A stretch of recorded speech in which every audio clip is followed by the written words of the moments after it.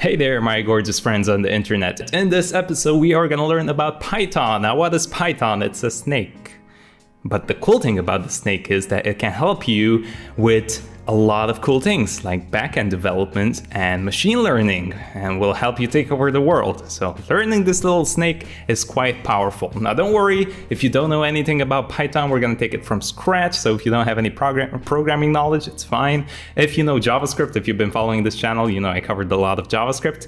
I will show you how to transition and what kind of changes are between Python and JavaScript. So you don't need to worry about anything. But before we get started, I also want to thank Skill Skillshare for sponsoring this video. Now, if you don't know anything about Skillshare, let me tell you because it changed me so much and it helped me learn so much. So what it is, it's basically an online learning platform with over 25,000 courses and these vary with basically anything you want. If you want to learn web development, you're going to find some awesome courses on it, uh, design and 3D modeling, whatever you want. Once you join, uh, you, you can pretty much browse through all of the courses. You can click on one, you can watch it. You don't have to pay for each one of them individually, which is really nice because then I don't have to have that mentality of what if this course is not good enough and then I have to refund it and all that crazy stuff. So I don't have to worry about that. I can just click on a course and just watch it. If I don't like it, I can skip to the next one. And I think that's one of the best things about it. And they were very awesome to me and they gave me a link that you can check down below. And if you sign up under it, uh, you get two months for free, so you have nothing to, to lose. And the annual subscription is only less than $10 a month, which is awesome. So thank you again for Skillshare for sponsoring this. Check the link in the description and let's get into Python. Okay, let's get Python installed. The first thing we need to do is just go to python.org and here we have to go to downloads. So click on download and you're gonna have a download page here. Uh, I'm on Windows, so I'm just gonna click download Python 3.73. We're gonna get the latest one. Uh, there is no real point of doing it in the older one, which is 2.7, unless you wanna maintain some older code or whatever. But hey, we're here to learn the new one, so uh, this is what we're gonna download. And once it's done, we can just open up VS Code. So let's open up VS Code. I'm gonna drop it in here. And we can also check if our Python is installed. So let me just drag this here. All right, perfect. I'm gonna close this and I'll just create a new folder in here. So I'm gonna go to open folder, hit new, new folder, and I'm gonna name this learning the snake, the snake. All right, I'm gonna hit select the folder Again, there we go, because it didn't work for some reason, but that's completely fine. So what we can do is we can open up the terminal and we can actually write some Python code in here if we want. We don't have to actually make a new file. So we can open this up and we can also check if Python is installed. So the way we can do that is we can write Python and we can say dash dash version like so hit enter and it's going to say 3.7.3 now if you're on a mac uh, it might say 2 point something and the reason is because Python is already installed on, on, on Mac computers. So what you need to do there is you're gonna have to write everything with Python 3, like that. All right, and that's gonna work. Uh, all right, so we have Python 3 installed and we can actually just say Python here. And as you can see, it opens up this little thing and we have three little lines down there, which means that we can write Python code. So if I do two plus two, that's gonna give me back four and all the other good stuff. So everything works. But we're not gonna do most of our stuff in here because I think that's actually boring. And yeah, I, I, just don't like working in here. I saw tutorials doing it in here and I'm like, oh, I cry. Okay, let's get going. Uh, I'm gonna close this up and what I'm actually gonna do is we're gonna set up VS Code for it to work with Python. And the way we can do that is um, we can go to the extension tab here and we can search for Python. All right, Python, like that.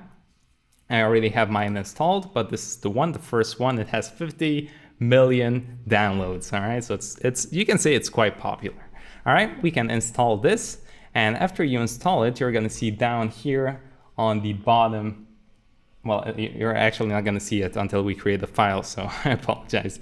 But what this gives us is linting, debugging, and IntelliSense. So when you write Python code, it's actually going to recognize it and it's going to give you some helpful tips and everything else. Now, once you install this, we can create our first Python file. So click on new file and I'm gonna call this, let's call it variables dot py.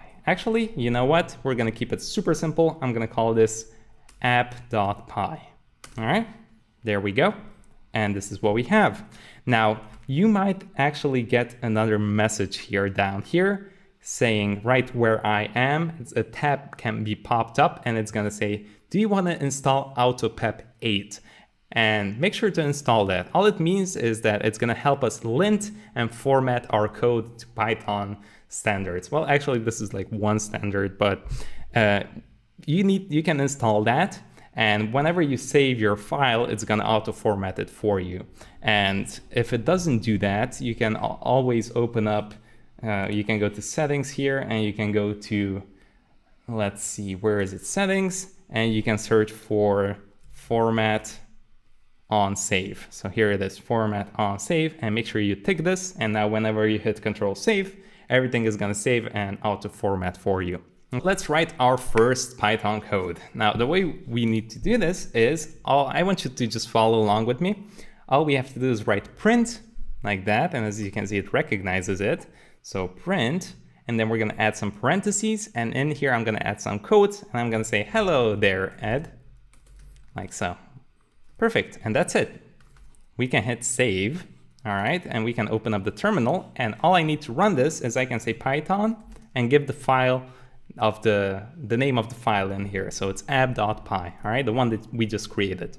And hit enter and take a look. We have hello there, Ed. All right, so what's happening here?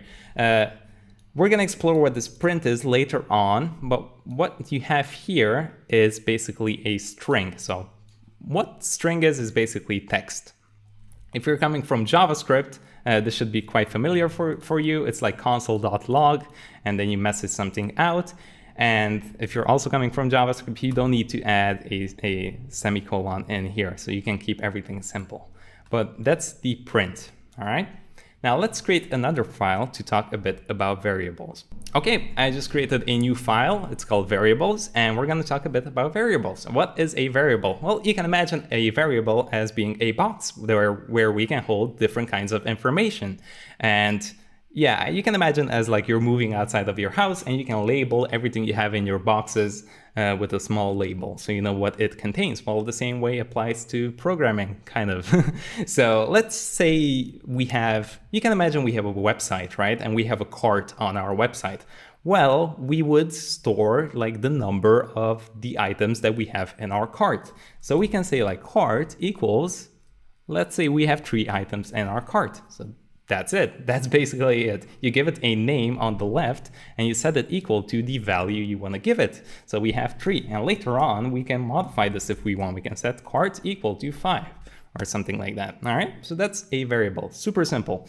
Now we can also print this out if we want. We can say print and I can just pass that reference. So I don't have to say three here. We don't have to do that. We can just say cart. And now if we take a look and we can just say variable uh, Python variables.py, hit enter and take a look, we have three down there. So super simple. All you have to do is give it the name, set it equal to, and the value. Now we can hold numbers, we can hold also a lot of different things. So let's go down here. We also have strings, so we can say, set a name variable equal to, and this is where we add the quotes, all right? Remember with the print, we added the quotes. Well, it's because it's a string and all a string is is basically text. So I can say dev ed here, all right? And we can just print this out again. So I can say name here. And now take a look when we hit enter again, take a look, there we go. We have dev ed. Now, if I take this name and add it to quotes, well, then it's just gonna print out name, all right? Because it's a string. Uh, and if you want the variables to show up, you just call them normally. So you just say print name, and that's gonna put it out for you.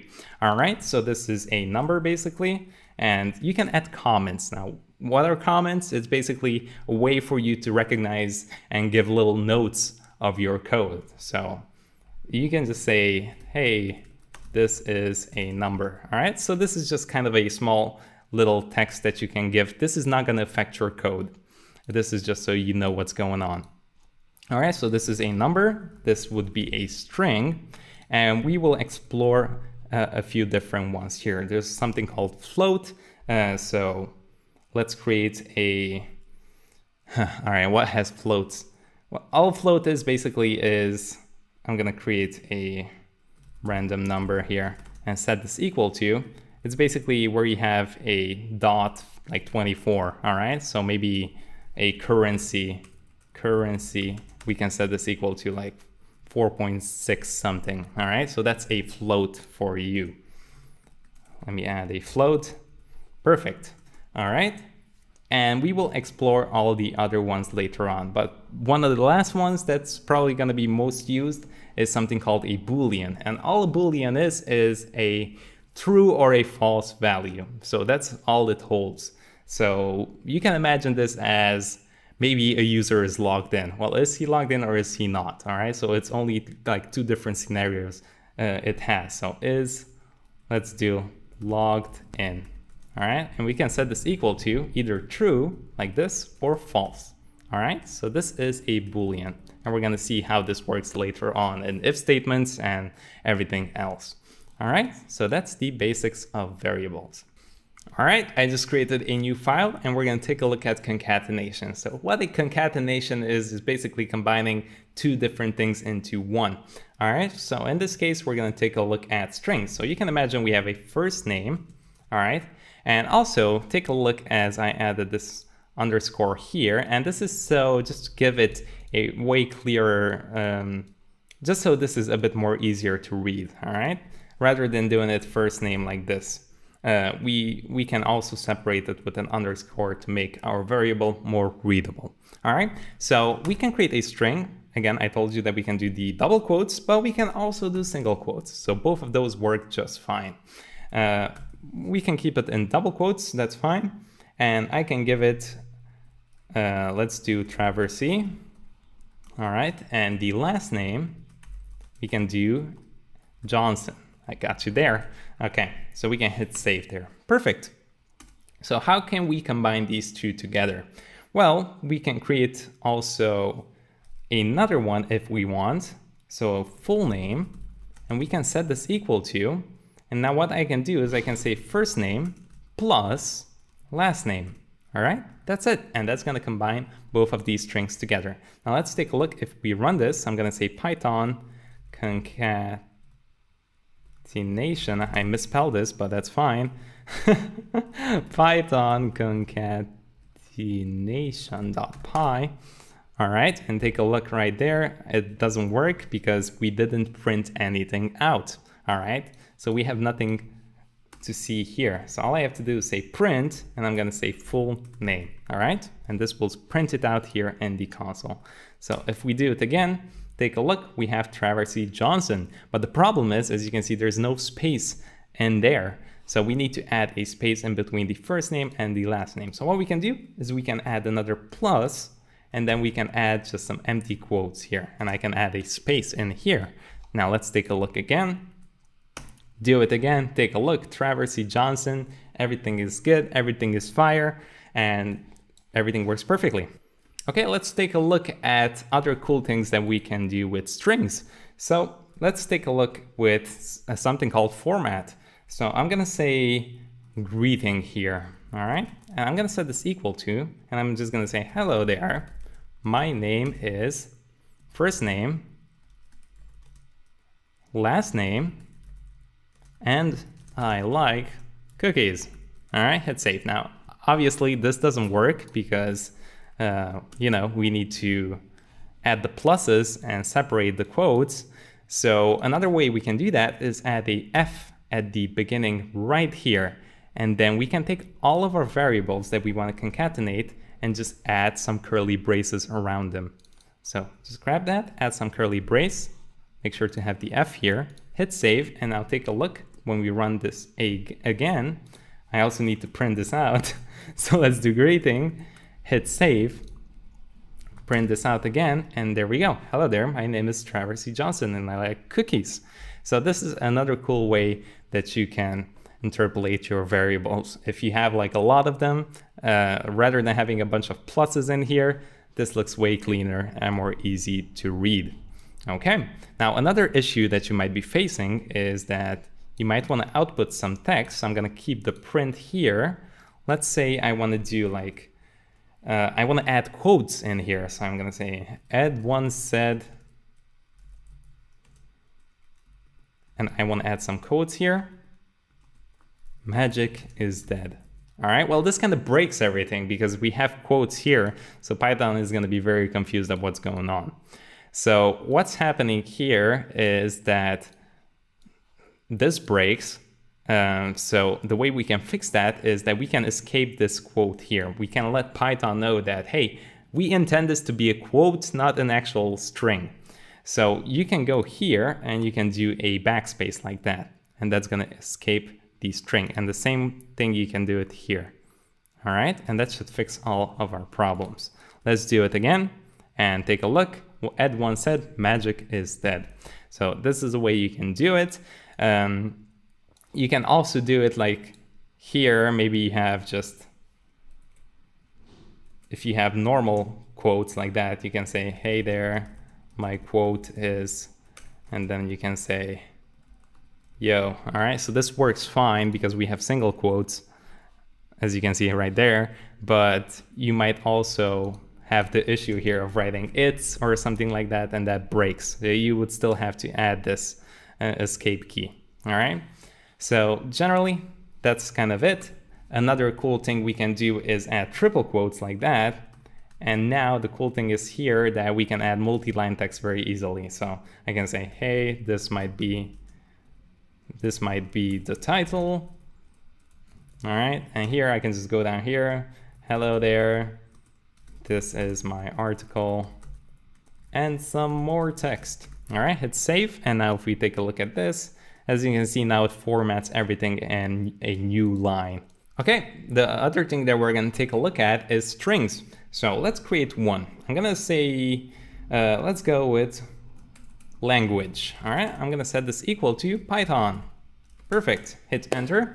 And there are a few cool functions that we can use uh, that are built in. If you don't know what functions are, don't worry. Uh, if you do, that's great. Uh, but we're going to take a look at functions a bit later on in this video as well. But for now, just follow me. What we can do is we can say len and take a look. All this does is it returns the number of items in a container. So let's take a look at what this does. We can print and I can just add len like so and another parentheses and we can just add the language. All right, hit save. Let's take a look at what this does. And also I named this strings.py, so we have a new file here.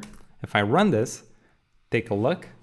For some reason this, oops, uh, let me do python strings.py. All right, and take a look what we have there. We have six. So basically it goes through all of these one by one and it counts all the letters and it's gonna give me back the amount of numbers in this letter. Very cool. All right, now we can also access each individual letter in this variable. So how can we access that? Let me add a comment here. I, I do this because I do a lot of JavaScript, so it's a bit tricky. Uh, that's how you do comments in, in JavaScript. All right, so I can access each individual letter. So how can we do that? We can get the language, so that variable up here, and we can just add some uh, square brackets, all right? And here, what we can do is we can select the number uh, based on this text. So how you count is you start from zero and all the way here. So this would be, and that's the index, by the way, if you want to know. So this would be zero index, one, two, three, four, five. Okay, so if I want the Y, I would do language one. If I want the N, I would do zero, one, two, three, four, five. Then I have 5 here. All right, and all this gives me back is the letter N. All right, so that's how you can access each individual letters. But Ed, stop talking and show me what it is. Okay, so I'm gonna add a letter here. I'm gonna print out the letter at the end. So we can say letter, okay? And let's do language. And here I can say zero, and that's gonna give me back the P. All right, hit enter. Take a look, let me drag this up a bit. We have P. All right, I'm also gonna comment this one out. Uh, so we only get back that six. Take a look again. We have the P. All right, let's take a look at how we can get the O. So zero, one, two, three, four. All right, so we can do four, hit save, enter, and take a look. We get back O. All right, now another cool thing that we can do is inside here, I can get back only, let's say, the first three if I want. So how can we do that? Well, I can say that I want this to start from zero, all right? So from P all the way to either T, H, or wherever I want. So the way we can do that is we can add a colon here, and we can add the number, so three. So it's gonna go from zero to three. Let's take a look, and take a look, we have B, Y, T. All right, so it went from here, one, two, three. All right, that's super cool. Uh, you can also, if you want, you can start from I, so I can say one here, and I can also say that, hey, just go till the end, but make sure you start from the uh, second letter here. So you can say one, and rather than adding three, you can just add nothing. And all it means is that it's gonna go all the way to the end. So let's take a look again. Take a look, we have Python now, which is another cool trendy programming language. so yeah, that's very cool. Uh, you can also do it the opposite way. So you can do it like so. All right, let's run that as well. And now I have Pyth. Okay, so that works as well.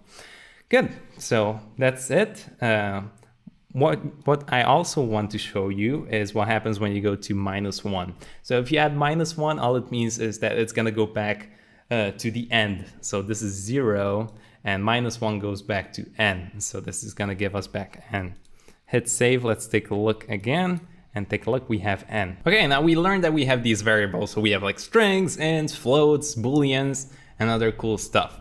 Uh, the thing is that on each of these, we can apply different kinds of methods, which are kind of like functions, but if you still don't know what these are, don't worry, again, we're gonna cover them later. But I wanna say that you can apply different kinds of cool things on top of these. All right, so I'm gonna remove everything here. I'm gonna keep the Python here. And I wanna show you a few things that we can do. So since this is a string, again, we can apply different cool things on top of it. So these are called, I'm gonna keep doing that, string methods, okay? And what you can do, if you have a string, you can apply these different methods on top of it. So maybe I wanna make this uppercase. So all you have to do is say language, all right? So we're gonna get that variable and say dot and take a look, you have access to all these cool different things. So maybe I want to make this uppercase, you can call upper on top. And then you need to add these parentheses. Okay, and there we go. Now I can store this. So upper language, we can do like this, language, oh, the spelling. Greatness. Okay, and then we can print this out to the screen. So upper language, hit save. Let's take a look, enter, and take a look. We have Python all uppercased. And you have all of these cool different methods uh, that you can apply depending on what you want to do. Uh, you can also have lower, so you can lowercase this. Let's change this to maybe a street address. So uh, street of the dead. White Walkers. okay. All right, rip. One episode destroyed. All right, never mind. Okay, so we have that. Maybe I just want everything to be uh, lowercase. So I'm gonna get rid of this. I'm gonna say lower text or something like that and set this equal to, and we can call that language, all right, which should be street maybe or something. So we can say street dot lower like that and call this and we can print out the lower text. Hit save, go up here and take a look. Everything is lowercase. I'm not gonna go through all of these because there are a ton of methods here and you're probably only gonna use these only whenever you need it. It's kind of pointless to for me to show all of uh, all of it for you. But you can also explore. You can say street dot, and as you can see, it's going to show up a lot of different things that you can use. And it also gives you a bit of uh, of what it does down here, which is super great. Uh, a popular one is we can also do find, so like that. And in here, what you can give is maybe something from this text. So I want to find the dead, all right? And that's gonna find it for us, and it's gonna let's take a look here. It's gonna say minus one because it didn't recognize it because this is all uppercase. But if I say dead like that, hit run, it's gonna say, hey, it's in the location 14. So 0, 1, 2, 3, 4, 5, 6, 7, 8, 9, 10, 11, 12, 13, 14. All right, so it recognizes that it's there. Uh, so if you want to use the find method, uh, maybe to search if there's some text, uh, you can use this. Okay. We can also do replace if we want. And then I'm going to leave you alone after this one, I promise. So I can search maybe I want to get the white. All right, so I can replace the white and I can add a comma here with whatever I want. So I can say dead storyline. Okay, hit save. And now if we run this again, you're gonna see that we have Street of the Dead, Dead Storyline Walkers, okay? Right, next up is conditional statements. This is where things are gonna make a bit more sense of why would you use these different things and how you're gonna combine them. So we can make a super small little game here. Uh, let's do, I'm gonna call this statements. Okay, and I just created a statements file, which we can run with Python statements.py, okay? And what a statement is, it basically checks if something is true, and if it's true, it's gonna run that specific code. And if it's false, then it's not gonna run that specific code, or you can do something else. So a good example would be that, um, hey, can I, all right, let's see, can I enter the club? All right, that's a, that's a good one. So we can have an age variable that's let's say 15. So we cannot enter the club. Now, how can we create this if statement? We can say, hey, kind of like plain English, if age, and here we can use different kinds of operators. I can say is bigger than or smaller than or equal than. And for that, we can we need to use double equals. And the reason we need to do this is because we want to check this value against this value. All right. One equals basically means that we want to assign something and you would use that to a variable. In if statements, you're always going to use double. Okay, so double equals because you want to check this value compared to this.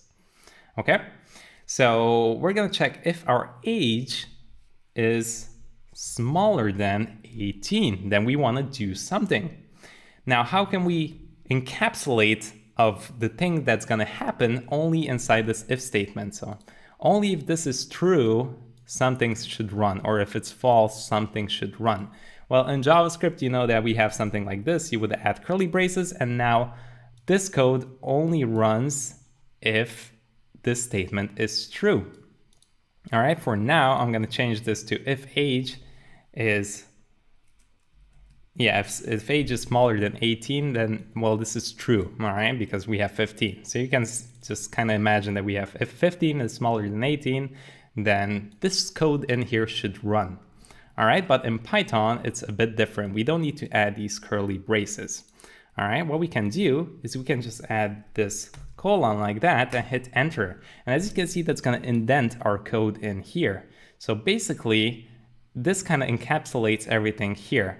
Um, and all the code we add here, so I can say print, hey, you are quite young.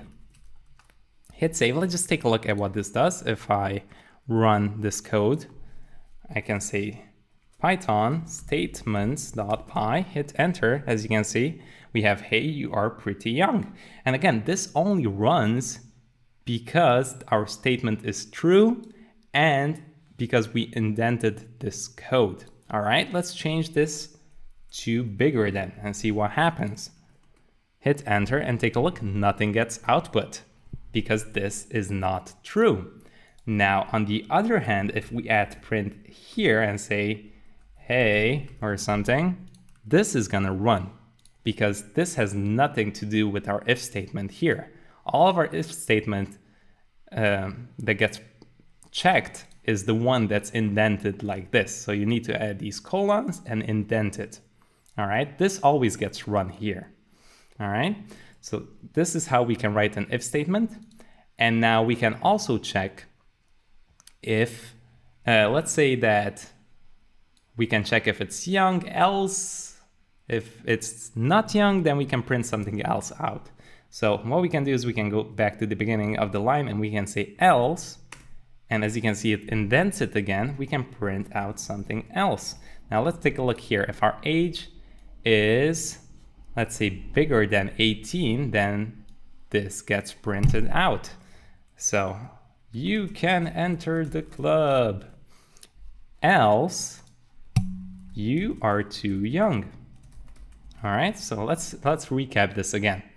It checks the age. If our age is true, if our age is bigger than 18, then we can enter to the club. Else, this gets output. All right, so if this is false, it automatically jumps to this else statement. Okay, let's take a look. Python, run this. You are too young because we're 15. However, take a look if we can change this to 21, hit save. Let's take a look again. Print this out, you can enter the club. So how about that? It's super, super simple. All right, we can also do another check if we want. What we can do is we can go here at the beginning of the line again, and we can say else if, so elif, this is how we write it. And what we can do here is we can add another statement. Maybe we, we need, we can also check for a specific number if we want. Maybe we can say, hey, if our age is double equals to 60 or something like that, I can add that colon again and say print, hey, you are 60, that's awesome like that. All right, hit save. Let's take a look. All right, so we have that, but if we change it to 60 now, it's gonna go in that statement. So what's happening is it checks this. This is false. Actually, it's not false. That's a, actually a good example. You can see you can enter the club. Now, why this? Why is this happening? And we added that if it's 60, it should print this out. Well, it's because it checks this one first. So if our age is bigger than 18, which it is, so it's gonna print this out and it's gonna stop. Okay, it's not gonna it's it's not gonna end up down here or down here anymore. And the way we can fix this is we can just move these two statements up. So I can set this equal to 60 here. So it checks this first just in case. And then else if we can do 18 here if it's bigger than 18. And then we need to kind of change these two texts from here to here. So we can just kind of move these around. All right, and say, you can enter. All right, hit save and take a look again. Now we have, hey, you are 60, that's awesome. And if I change to something else like 50, then we are gonna end up in this else if statement. So there we go. Okay, so we have basically the equals, we have this one. We also have access to uh, bigger than or equal. So this also checks if we add 18 on the dot, this will work just fine. Uh, we also have a not operator, which I'm going to show you. So let's get rid of everything. I'm going to say, let's do age equals 24 again. And let's also do this. I can say if my age is not equal to 24, then I can print something out. You are not 24. All right, let's take a look. If we run this, nothing's gonna get printed out because all this means is that it, it should not be 24. All right, it's pretty self uh, logical. But if we change this to something like 20, hit save, run this again, take a look at that, you are not 24. What we can also do is we can check if two values are the same or two values are true or false. So I can have my age can be equal to 24 and your age can be equal to 18. All right. And I can say if my age is bigger than 18 or 20, and I can say and your age is bigger than 15, which both of these are true. If we check, 24 is bigger than 20, and your age is bigger than 15, then we can say print both of you are old enough. All right. And this code, what I want to tell you if I can make this run, this code only runs if both of these values are true. So if this is true and this is true, then run this little sucker. Okay? If one of these is false, this is not going to run anymore. So if I change this, your age is 18 now. So if it's bigger than, let's say something that's not bigger, like 60, uh, and if we print this out again, as you can see, nothing happens because both of these values need to be true. Uh, if I only want one value to be true and this to work, I can change it to OR, all right? And all that means is, hey, if this is true, that's fine, all right? The other one doesn't need to be true anymore. So this is like, hey, just one is enough for me, all right? Now, at the end of the day, the if statement, all checks if something is true or false. And you can remember that we used to mess around with uh, the booleans, so that specific data type. So I can say is logged in, is logged, and I can set that to true. All right, so since this is true, our if statement is gonna work. So if I say if is logged in, and I don't need to check anything here because this is true already, then we can run a specific code. Print welcome user Jesus Christ 24, okay? Uh, this will run automatically. So if we take a look again, hit run, take a look, welcome user, okay? So all the if statement checks at the end of the day if our value in here is either true or false, all right? So at the end of the day, is just basically a Boolean.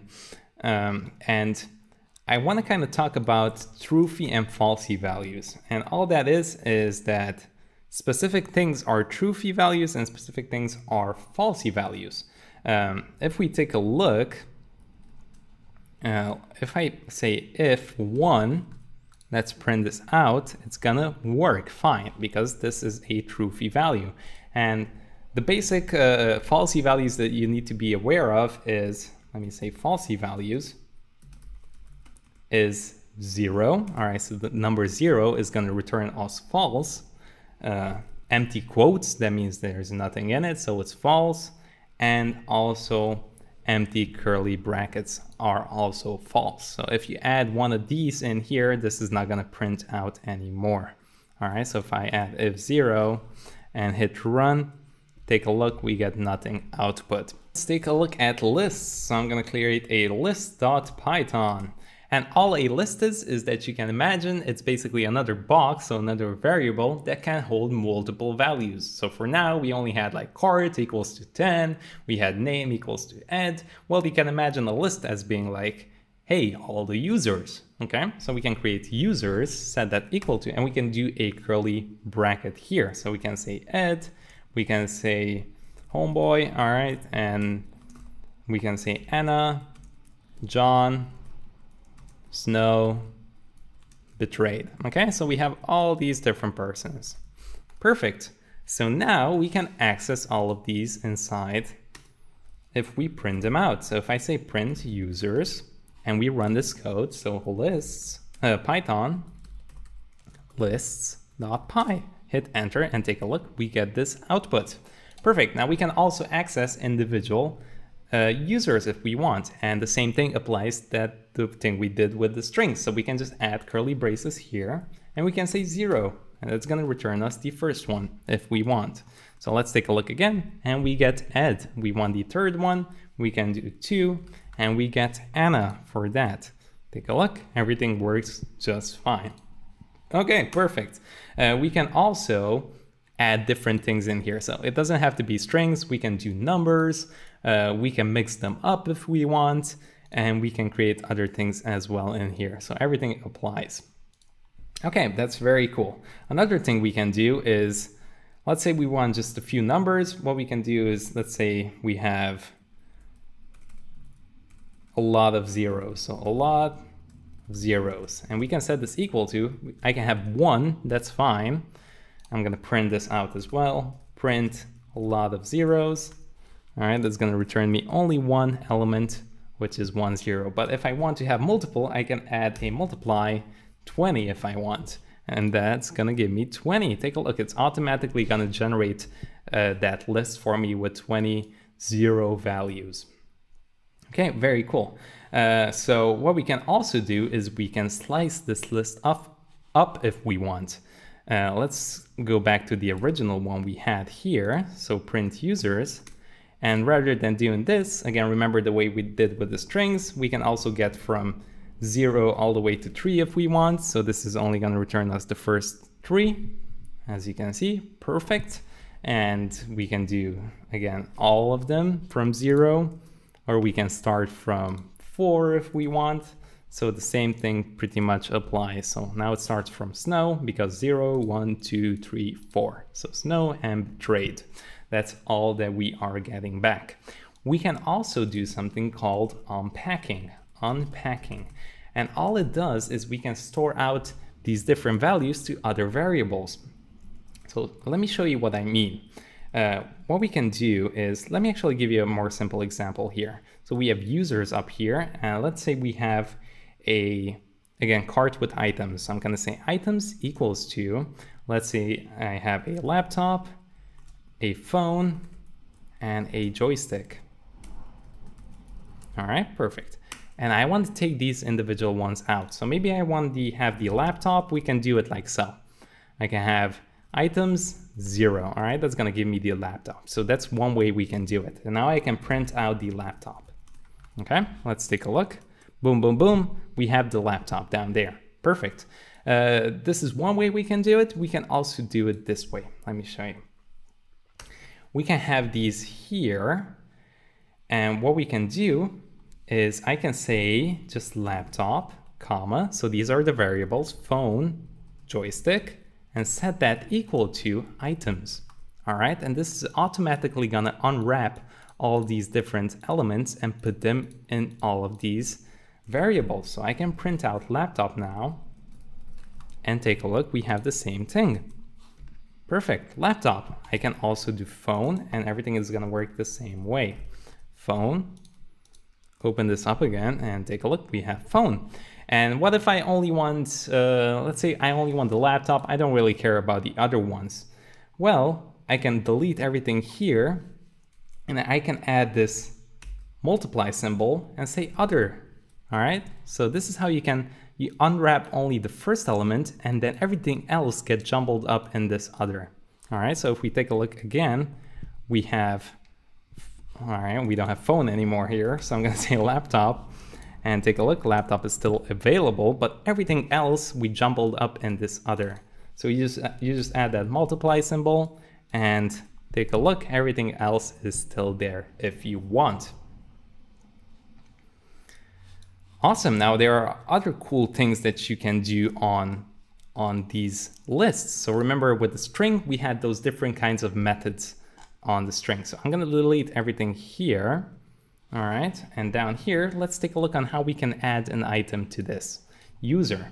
So I'm gonna add a comment saying add items. All right, so we can just get that letters, not letters, we have users, I apologize. And what we can say is we can add a dot append and take a look, all it does, append object to the end of the list. So I can append an object like that. I can add quotes and I can say new item hit save, and we can print this out again. Print users, hit save, take a look, and now we have a new item down here. So we added that to the list. Uh, we can also add it to a specific place if we want, and we can use insert for that. So we can say users dot insert and we can give it the position. So as you can see, it asks for our index. So maybe I want to insert it to add so I can say zero, and I can add a comma, and I can say beginning item. Let's take a look, hit enter, and as you can see, it added before ed. All right, so you can get the position of it if you want with insert. We can also remove things. So I'm gonna say remove items. All we have to do, I'm gonna take this and put it down below, like that. Give some space. What we can do is we can say letters, not letters, I keep saying letters, users dot pop. All right, and this way we can remove something. And if you don't add anything to it, it's just gonna remove the last element. Now, our last element is new item because we added it up here. All right, we appended it up here. So if we take a look now, we're just gonna get rid of that. All right, and if I get rid of this append, I'm gonna comment it out like that, then it's gonna remove betrayed, all right, because we're not adding to it anymore. So we have snow as the last one. All right, there are a lot of different ones that we can use here, but those are the basic methods that we can use on lists. All right, before we move on, I quickly wanna show you two more that we have, which are kind of like lists, but not really. Um, just as an example, uh, we have something called tuples, which is kind of almost the same thing. So I can create a, let's do, let me see what we have here. We have users, so I'm gonna say letters down here, down here. And rather than adding these uh, brackets, we can add curly braces like that. And I can say A, B, C, let me do A, another B, C, D. All right, so the difference between this and this is that with this one, so with the tuple, this is called a tuple, we cannot modify the data in here. We can only read it and iterate through it, which I'm gonna show you in just a bit. And we also have something called sets, which basically only uh, only lets you have unique numbers. So you cannot have two B's because you can have two B's in here in tuples and in lists if you want. But with sets, you can only have unique numbers. So I'm gonna get rid of this. For now, I'm gonna comment it out.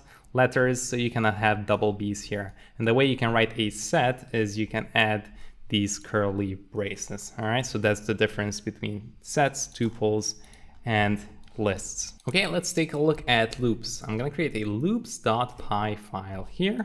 And the first one we're gonna take a look at is called a for loop. For loop. All right, there we go. And the way we write this is basically you would use a for loop to iterate through a list or a tuple or a set, okay? So let's take a look on how we can do this. I'm gonna create a users list again. So in here, I would have again, Ed, Anna, John, Podrick, and Smith. All right, so we have a, a list and I wanna iterate through all of these. So you would write like so. You would say for, and you would say user, so the single uh, user in and here is where you define which list you want to use. In this case, we want to use the users. You would add the colon like that. And again, take a look, we are indented again. So this code runs in here. If we just print out the user, let's take a look. We can say loops.py. Hit enter. Actually, we need to say python loops.py like that, hit enter and take a look. It runs through all of them. So what happens basically is it checks each individual item inside this user. So it says Ed, it prints it out, and then it jumps back here. It checks the second one, prints out the second one, goes to the third one, prints it out again. So theoretically, what we can do is we can say print, hello there user, and now every time it goes through this loop and through each item, it's gonna print out all the code inside this indentation. Okay, so if we run this again, as you can see, it says hello there, user, and it prints it out for each one of those. All right, so that's how we can do a loop. Uh, another cool thing that we can do is we can use a function called range. So let me show you that really quickly because we can also use that inside this for loop. So I can create another, let's say I'm gonna create a list and take a look here. If you wanna do a list, you're gonna see that this is actually a built-in function inside Python. So we cannot use this as a variable name because what we can do is with this list, let's say I have a string, so name equals Edwin, like that, and take a look if I just add list to this and wrap it around it and then print out the name. All right, I'm gonna get rid of this for a bit. Hit save, take a look. It creates a list for me out of this string. All right, so be aware of that. Uh, make sure you don't add list like that simply. So I can say my list, that's fine. That's gonna work just fine. And what I can do is I have another function that I have access to, it's called range. And what this does is you can pass in basically um, a starting value and an ending value. Now this is not going to do anything on its own, so, but if we take it and make it a list, I can just drop this inside a list and run it. Take a look, we have 0 all the way to 9. All right, so 10 is not included, but it generates us a list in the range from 0 to 9. If I want this to 100, I can do 101 all right, hit save, and that's gonna generate me a list. Take a look from zero to 100. Awesome. Uh, and we can also add another parameter to this if we want. So the zero is the starting value. Uh, the second one is the ending position. And the third one is how we want to increment it. So I can increment this by five if I want hit save. Let's take a look again and take a look. Now we have 0, 5, 10, 15, 20, 25. All right, so this is what you can also use. Cool, and the reason I brought this up is because we can create a for loop only with the range. So I can say for, let's say i for index in range, and I can say from 0 to 20. So maybe I want to create a loop that runs 20 times. All right, and in here I can print out, I run 20 times. Hit save and take a look. Print this out and boom, take a look. This runs 20 times. Oops, this messed up, but you get the idea. So we can use this range. What we can also do is, let's go here, let's get rid of this. We can also use a string if we want to loop over. So I'm going to create a name again and set that equal to Edwin. And I'm, i can say for s as in string in or letter for letter in name. And what we can do is we can print out each individual letter. Let's take a look again. Boom, take a look. We have ed are all separated. Okay, so that's how we can use a for loop. We have another one called a while loop. All right, and how this works is basically it checks a statement, and as long as that statement is true, it's always gonna run. All right, let me show you what this means basically. We can do while, let's say while true, we can print out I am running. All right, so basically what happens, don't run this code yet, because what happens is as long as this value is true here, this is always gonna run. So it's gonna say, oh, it's true, I'm gonna run. Oh, it's true, I'm gonna run. So this is gonna create us a endless loop. And we don't want that because, yeah, that's just not a good idea to have an endless loop going on 20,000 miles per hour. So what we need to do is we need to have a condition here that is true, but eventually it turns false all right? So it stops. So you can imagine it as something like this. We can have an age, and that's, or just a number. Yeah, let's just have 10 or something. And I want this to run only from 10 all the way to 100, so 90 times. And what I can say is while age is smaller than 100, then run this code. However, this is always still going to be true. So what we need to do is inside this while loop, we need to increment that age. So eventually it's going to turn this statement to false. Okay, so all I can say is age equals to age plus one. And all that is happening in here is that, hey, we set age equal to whatever the age is, in this case it's 10, and then we add one to it. So then it's going to be 11. Then when it's going to run again, it's going to be 11 here uh, equal to 11 plus 1, which is going to be 12. And it keeps on going. So let's take a look, hit this, and as you can see, this console logs out 90 times for us. Okay, there we go. We can also shorthand this. We don't need to write age plus 1. What we can do is we can say age plus equals 1, and that also works just fine. So run this, as you can see, we have the same result. Perfect, so that's the while loop and that's the for loop. Now, before I go, I actually want to show you one more thing that we can do here. Uh, I'm going to change this to something smaller like 20, and I'm going to set the age to zero. All right, we were just born, okay? And this is going to run all the way up to, let's set it equal to smaller or equal, okay? So it runs still 20. And then we increase the age, which is good here. And let's just change this to I am growing up. All right.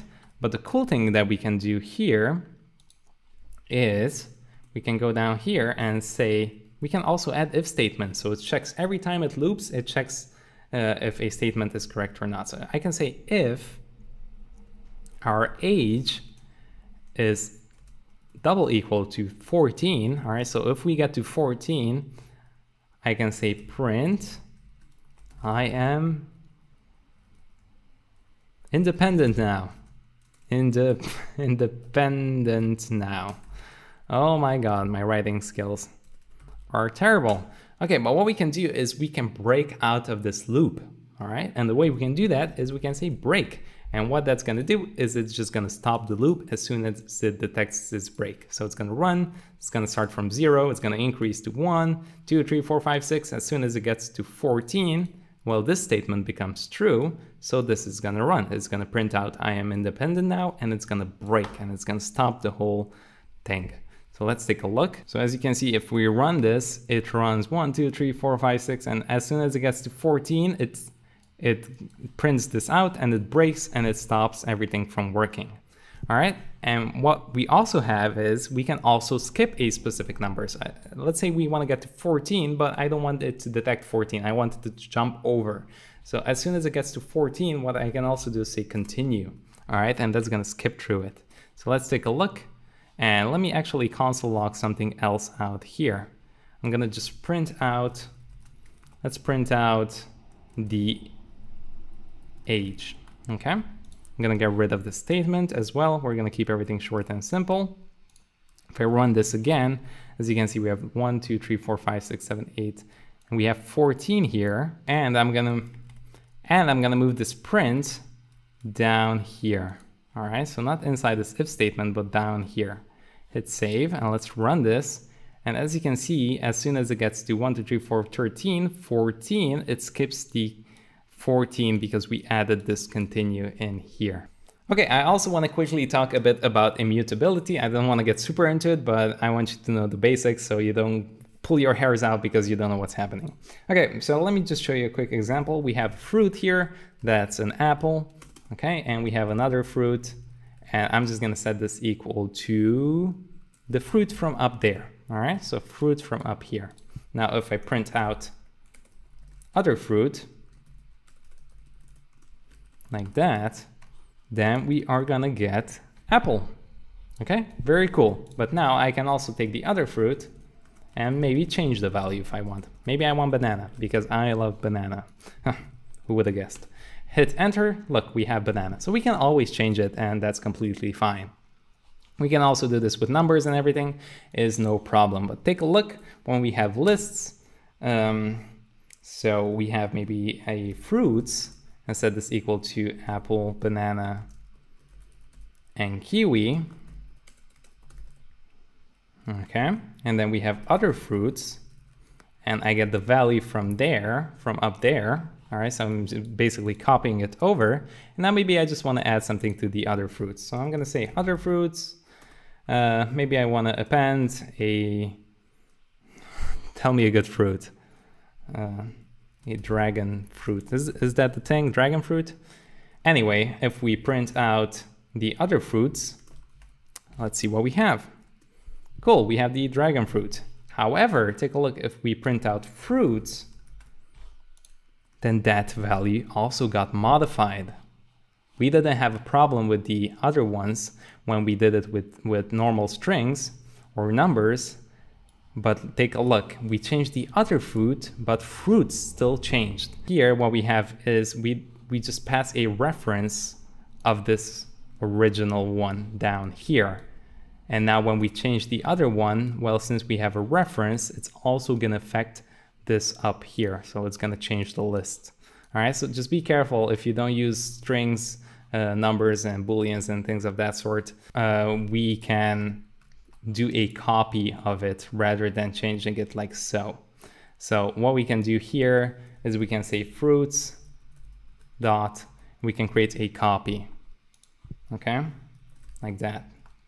And now we can append it to the other fruits. We can change it however we want, but when, when we print out the fruit, as you can see down here, we get apple, banana, kiwi, all right? So we're not actually modifying it. So let me just quickly give you the immutable values and, and mutable values so you know uh, what, what and how it works. So booleans are uh, immutable, and you can use ints and floats and tuples, strings, uh, not sets, we cannot use that. So these are the basics that yeah, you can mess around, we can change it and it's not gonna affect the other ones. However, uh, make sure when you have things like lists um, and sets, all right, we covered that and we're gonna cover something called dictionaries.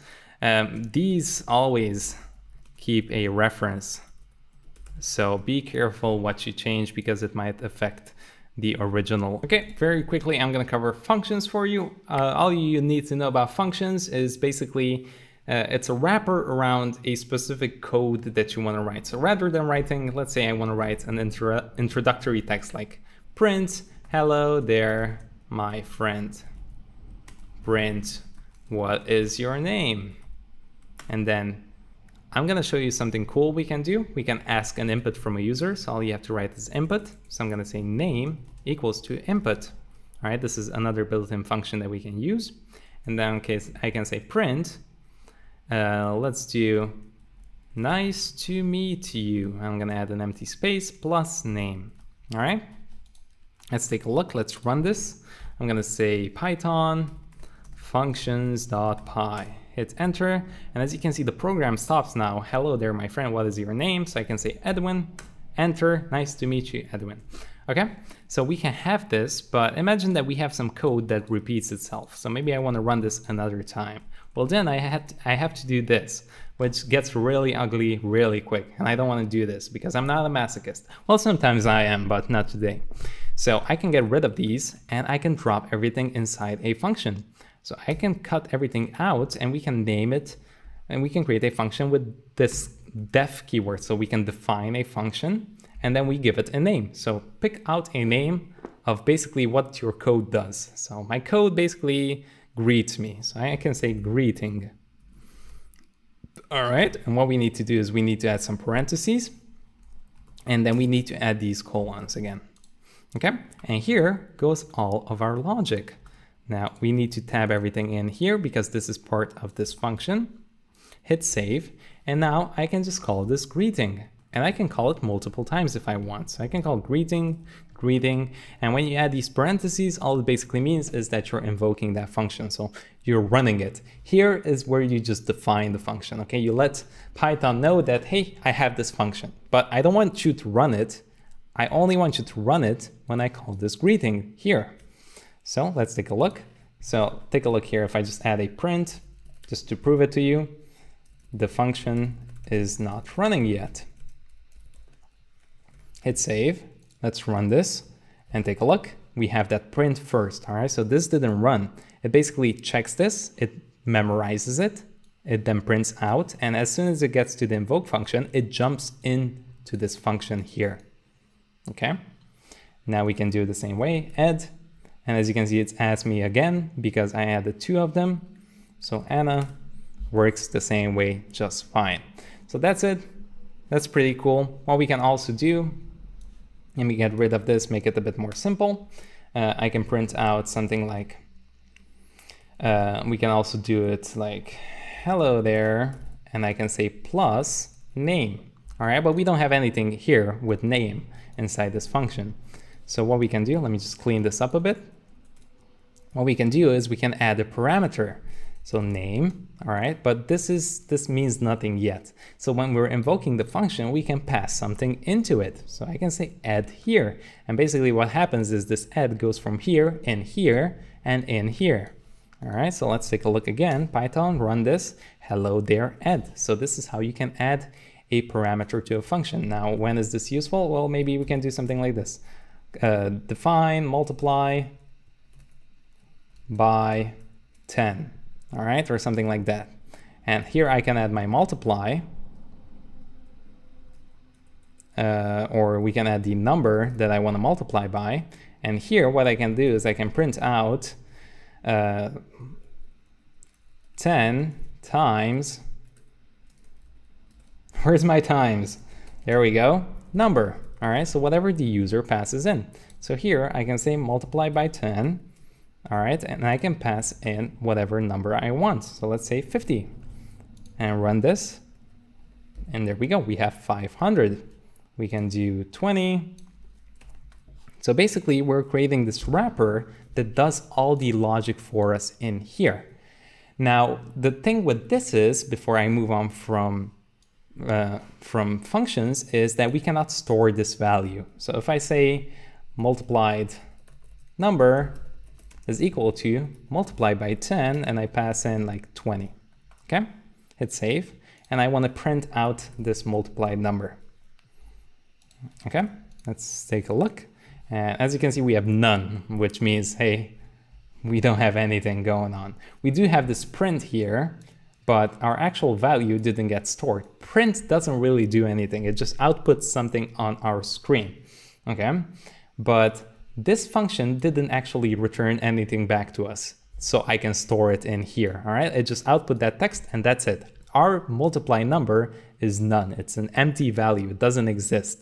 All right, so how can we actually return that number? So when we call this function, we have it stored somewhere. Well, rather than printing something out, what we can do is we can say return 10 times number. And that way, we can actually store this. So when this function runs, it cal calculates this, and then it returns that number, and it's in here, it's gonna save it to this multiplied number. All right, so it just returns everything at the end, and it saves it in our multiplied number. So if we take a look again, take a look, we have 200 and that's the actual value I have saved in here in this variable. All right, so that's return as well. What we can also have is uh, we can also have a default parameter already. So we can say def, we can define, let's say add, all right? And what we can have here is, let's say we wanna have I don't know, a number, all right, so that's one, and another number that I want to add, but I can have a default one, let's say by one, all right, so we can have a default number here already. Perfect. So this way, let's say I want to return number plus by, okay? And down here, I'm gonna just get rid of everything in here. I'm gonna add, I'm gonna just print or just add a number. I'm gonna create a variable and say add. I can say 10 by 5, okay? And print added number. Let's take a look at what we have now. So we have 15, all right, so we're just adding these two numbers together. But the cool thing is if we set it equal here to one, uh, we can just get rid of this one and our program doesn't break. As you can see, it just adds 11 by standard. So you can just have a default one, just in case your user doesn't really add anything in here. Uh, another thing we can have, I'm gonna remove this so I can have two values. Let's say 20, all right, so this is gonna give us 30.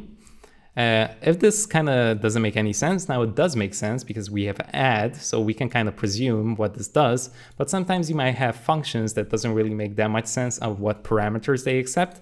So you can actually add number here and set that equal to 10, and by set that equal to 10. And that's not gonna do anything, but it's a nice way to show uh, the user or maybe you uh, of what these parameters actually are. So you're just naming them basically. And let me show you quickly what are dictionaries. So dictionaries.py. There we go. And these basically are, they kind of look like lists or tuples, but what they have is basically a key pair value. So a good example I can give you here is something like a user, and you can set that equal to, and this would be a dictionary. So you would add curly braces, and you would add quotes, and you would name it like so uh, you would have maybe a name and you can add a colon and set that to ed. You can have an email and you can have that to john at yahoo.com and we can have an age if we want and set that to 20 so you can have different kinds. You can have um, you can also have numbers. You can also have lists if you want in here. You can say purchases purchases and you can have a list if you want in here so like that you have some values so that works as well so take a look that's a dictionary now we can access things in this dictionary. If we say user, I'm just gonna print something out here, user, and you just add those brackets again. And what you do is you say name, and that's gonna give us back the name.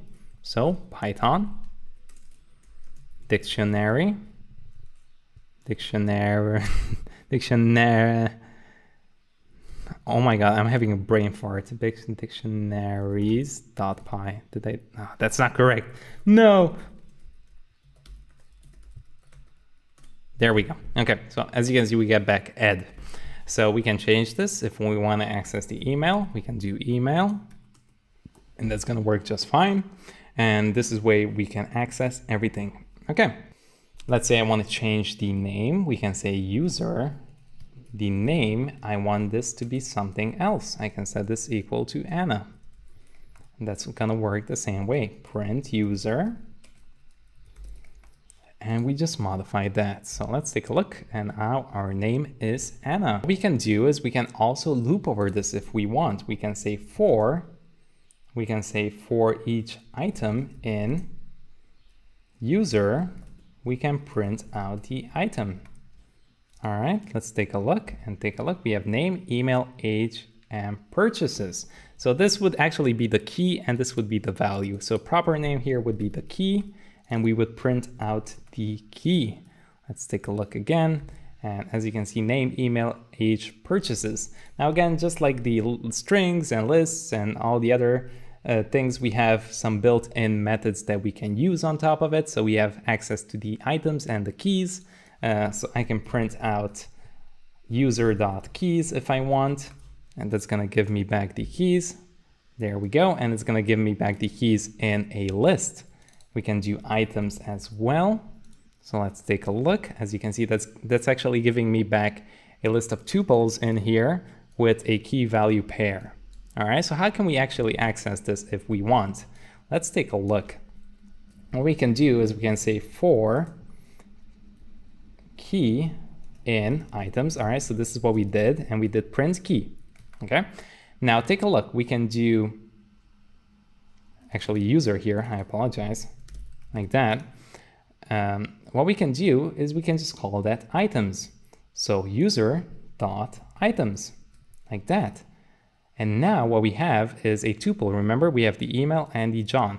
So we can extract those by having key here as the key and I can add a comma and I can also extract the value, value like that. So I can print out the key and the value. So I can have access to both of those without a problem. So take a look, name Anna, all right, email John, and all the other good stuff. So that's a way you can access both of those together. What we can do is we can also check if a value is available for us. So let me remove everything here and I can say if maybe name uh, is in this dictionary.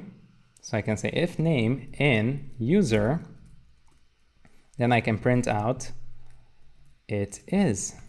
Oops, make sure to add quotes. Hit save, let's take a look. Print out the dictionary, and as you can see, it is. We can change this to something we don't have like logged. Let's take a look now. And as you can see, it doesn't return us anything because it's not true. Another topic that I didn't cover, which are classes, but I feel like those can take up a whole nother video because this can take forever to make. So uh, if you want to see that, make sure to let me know and I'm gonna do a whole video on classes. Okay, so that's basically it. Uh, what you can also have is Python basically has a lot of built-in um, libraries and that you can use. And there are a lot of third-party modules as well that you can install. So things like Django or you've seen things with TensorFlow like machine learning, uh, those are separate modules that you can import into your project. But to show you one really quick one, uh, I can import random. That's something that's available for us. And with this one, we can generate a random number or whatever we want. So I can say, uh, let's do a random num. Let's do a guess number. And we can set this equal to random dot. And here are all the different things that we have access to. So as you can see, we have something called random int that just basically creates us a random number between certain values that we give it. So a and b, as you can see here, returns a random integer in range a, b. So I can say between 0 and 20, just return me a number. So if I print out guess number, then you're going to see that um, we get 13. If we keep running this, it's just going to generate us a random number. Now I actually have a small little challenge for you. I want you to create a random, random number guessing game, and this is how it's going to work. Uh, the computer is going to generate a random number. You need to guess that number. You need to guess that number. And the computer is going to give you feedback based on the on your input. So if you guess 10 and the actual guessed number is 15, then it's going to say, hey, my number is higher. All right, so if else statements there, all right, just to let you know. Good. And finally, if you guess more than six times, then you lose. All right. And we have arrived to the end of this episode. Hope you liked Python. This is one of my favorite snakes to play with in my personal time. that doesn't sound good. No, cut that out of the video. But yeah, thank you again so much for watching. Make sure to hit the bell if you want to stay notified of the upcoming videos. And also feel free to recommend down below whatever you want to see next because I take a look at all the comments, even though I, I just cannot respond to every comment anymore. So I apologize for that. But I take a look at them. I take your recommendations into consideration. And yeah, let me know how it goes. Here's the Python. This is the Python I was talking about, not the, yeah, okay. All right, goodbye.